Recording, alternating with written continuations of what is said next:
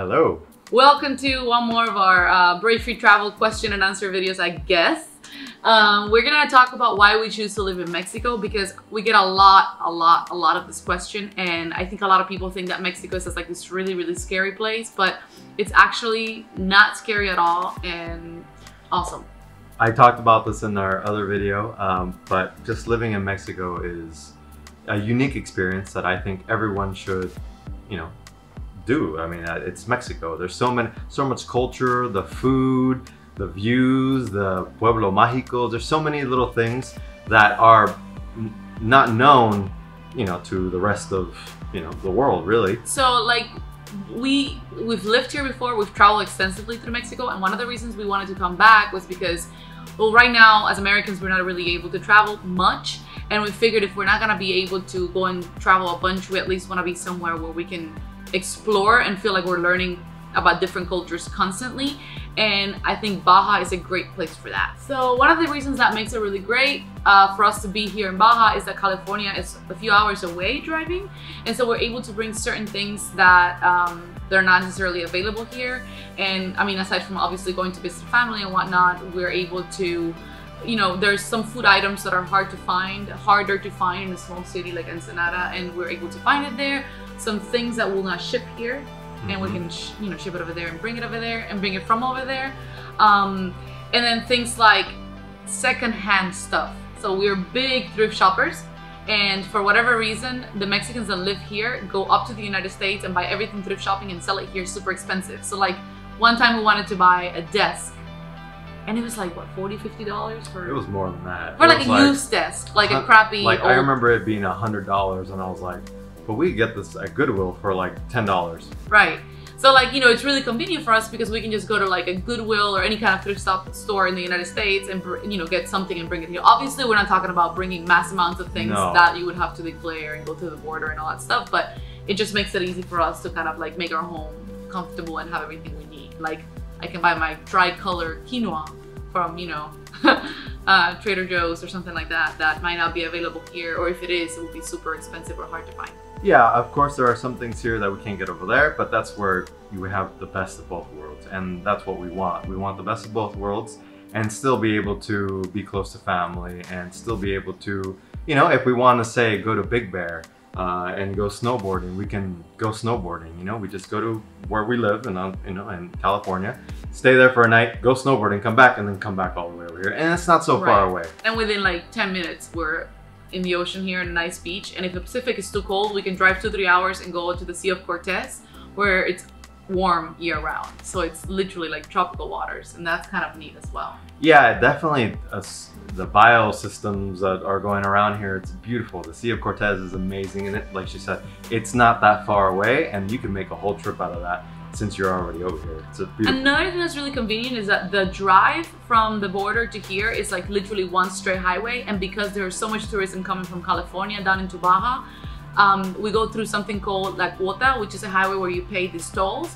And so you're always insured if you get on an accident or anything happens on that uh, main highway. It's also nice because a lot of the roads here in Mexico are not always kept the best and this highway is kept very nicely there's not a lot or almost no potholes so like you can drive. It's a straight through dr drive. You don't have to go through any kind of cities or anything like that. So you don't even have to drive through Tijuana to get here. So it makes it just like a straight shot straight from San Diego. We just drive straight south and we're here in like an hour and a half from the border which is not bad. And it's a beautiful drive. Yeah they call it the scenic route. And literally you're on the coast. It's like driving on the Pacific Coast Highway. You just drive through the, everything. You see, go through all the mountains and the beaches are just beautiful. So. And then on the side of the road, you have a bunch of restaurants that you can stop at and eat. But we're getting derailed from the main subject. Another benefit of uh, moving uh, here, living here in Baja, is um, healthcare and dog care and all kinds of care. So just to give you an idea, my nails, they cost me in the United States like what, 50 $60 at least to get my mani and pedi. Over here it's costing me what, $30 at a really, really nice place where they do a really good job. You can get it for much less. Like if I just want to do like change my nail polish um, to gel, it's gonna cost me $10 and that's just awesome. Also our dogs. Our dogs, um, they need shots, they need teeth cleaning, all that stuff we got that all that done by with only like 150 200 dollars which that would have cost oh my gosh. So we spent lot two more. hundred dollars, and they got um, their entire physical exam with blood work. They got an entire grooming with nail clipping and all that stuff. They got all their teeth done. The exam that goes with their teeth uh, to make sure that their uh, immune system can take up being put under, and antibiotics to go with their. Uh, you know, with their treatment so that when they go home, they can be taken care of, make sure they don't get any infection. And all of that for both dogs costed us $200. Some uh, around there. Oh, oh, and they picked them up and dropped them off Yes. at our hotel. So it was like full service, full service. Yeah. Another thing, I also got my phone fixed over here. I just needed the camera repaired, and that cost me around fifty-three dollars, which it would have cost about hundred fifty dollars in the Same in thing the for me. My phone uh, broke recently and it cost me $75 to get it fixed completely. And it was something in the circuit board, and that would have cost at least $150 in the United States. Now these places are aren't Apple certified, but I mean, I mean, they our phones are pretty doing. old anyway. Yeah. We don't care if, you know. and they know what they're doing. So we, we decided let's just do it. You know, let's uh, let's invest in, in, in our phones and, and fix them. Also, of course, there's always the benefit of like living here. You know, we, we earn in dollars and we're spending in pesos. So however you want to see it right now, the dollar I think is 22 pesos or 21 pesos to a dollar. So even though Baja is probably one of the most expensive Mexican places to be at, like it's not cheap compared to like a place like Oaxaca, for example, it's still relatively cheap, especially if you compare it to living in California. So this is not cheap like, you know, you cannot buy, you know, six tacos for 30 pesos or anything like that like you find in Mexico City. Everything here is pretty much American prices, but um, they're not as expensive. And one benefit that comes from that is that we have a lot of American influence for certain things that makes it really cool. For example, microbreweries. There's tons of microbreweries in Baja. we have a friend and she's brought us beer from some a local here and they make it here and it's a big thing it's it's it's definitely a culture that's come from the states from california a lot of microbreweries and it's slowly coming this way which is pretty awesome because they have the talent and it's it's they're wonderful And not so slowly anymore. Like honestly, you see so many microbreweries. We've been to like three or four at least. Um, but there's a lot more, and it's a big, big culture down here. And of course, there's also the wine.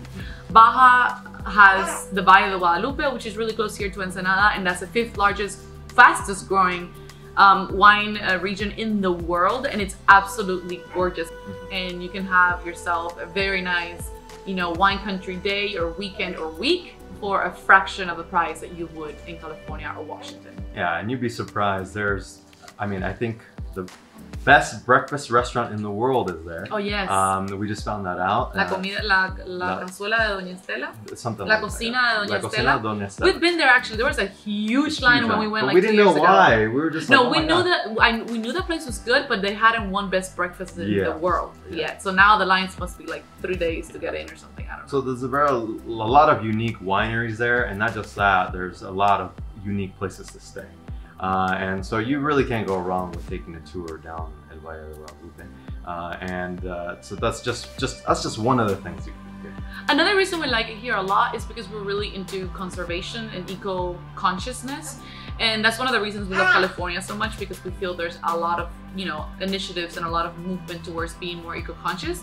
And the same thing happens here in Baja. So a lot of Mexico is still not really on board with the whole eco consciousness. But here in Baja, you, they don't even give you plastic bags at the grocery Nope. store. And when they do, the ones that do, they're all biodegradable. Um, they've done this big project of collecting, let's say, like old tires from the marina here, Mhm. from the port, and they made like the separations between the the roads, like the main roads in the city. They've made marine mammal animal sculptures out of these old tires. Everything is recycled. There's a huge culture of container home building, tiny home living, um, upcycling old materials and old furniture to make new cool stuff. So it's a really, really progressive, you know, um, I w- I don't want to say California minded, but it really does feel like we're in an extended part of California. Yeah, there's a lot of solar panels everywhere too. Yes. Uh, that's definitely the culture that's that's growing here, um, and just overall, it's the eco consciousness of it all is definitely a very appealing, and we definitely want to be a part of it. But it also has enough local charm to where you feel like you're somewhere else. So like you drive anywhere here and you're still very much in Mexico. There's tons of local flair, lots of local cuisine, Baja cuisine and Mexican cuisine, which are two different things by the way. And we'll talk about that in another video. We'll probably do a little cuisine culinary uh, Baja tour at some yeah, point yeah. because the food here is amazing. Yeah. Um, but we love it here because you can drive down 10 15 minutes and you can be at the beach, on the port, in the middle of a city. There are clubs for those who like it. There's breweries. You can drive 30 minutes and you're in a Valle de Guadalupe. So you have this beautiful wine region. You can drive 30 minutes and you're on top of a mountain somewhere. Um, there is snow nearby in the mountains here. There's hiking. I mean, there's just everything. Yeah. And you can also, if you don't want to go anywhere, there's Uber Eats. You can get Uber Eats and you could basically get it from all the local places around here. So if you don't feel ah! comfortable going that day anywhere, you could just stay home, relax, get some Uber Eats, and you have unique Ensenada cuisine here. And one of the things, one of the main reasons actually why we love it so much ah! also is the internet. A lot of places have a lot of local flair, have horrible internet. And as you know, if you want to be a digital nomad or work online in any way, sort of shape, you need good internet. We have microfiber here. Microfiber? no, no fiber, fiber, optic. cable. Where did I get microfiber? Microfiber is the fabric, right? Yeah, it's microfiber. Anyway, fiber optic internet.